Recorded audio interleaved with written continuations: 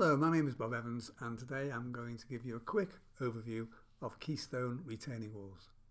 There are two design principles for keystone retaining walls, gravity and soil reinforced. Gravity walls can be built up to 800 millimeters using the blocks only, then concrete backfill is required for higher walls. When the retaining walls are over 1.5 meters, soil reinforcement becomes a more economical solution. You can see some examples of keystone retaining walls in these images. The blocks are 455 millimeters long, 300 millimeters deep and 200 millimeters high and weigh 40 kilograms each. The blocks come in a number of colours including flint, Yorkshire, sandstone, ivory and pewter.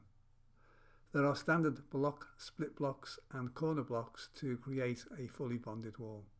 We can schedule the correct number and type of block for your project and obtain a quotation from the manufacturer on your behalf. This is all part of our service. An alternative to Keystone is Slopeloc.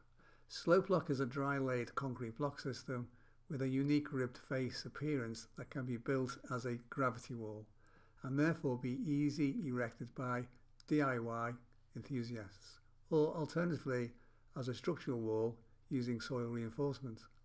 The blocks are 245 mm long by 300 mm deep and 125 mm high and weigh 20 kilograms each. The blocks come in a number of colours including hamstone, ivory, bathstone, terracotta, black, russet and pewter. The design principles are similar to Keystone. Keystone and Slopeloc soil reinforcement walls are constructed in a similar way we have an installation manual that describes the full process. The image on this page shows the geogrid being laid out before being covered in soil. You can also see how the geogrid connects to the keystone block using pegs. The design table was designed to allow us to build budgets. They give you an idea of what the walls look like at various heights. Do not use this guide to build your project. Every retaining wall uses different soil data and must be designed by a structural engineer. We can offer you this service if requested. The question everybody wants to know is how much does a retaining wall cost? To answer this question we have created a retaining wall design and price guide. The guide details all the retaining walls on the website, provides a design guide to allow you to cost out the wall yourself, or you can use our cost table that we have developed.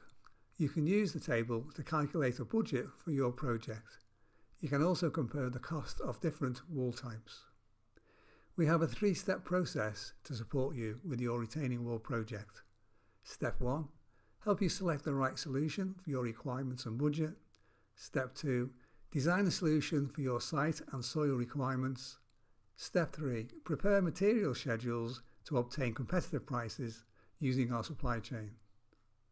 The next step is to ask us questions and tell us about your project. We can then support you deliver it and probably save you some money. Thanks for listening. Bye for now.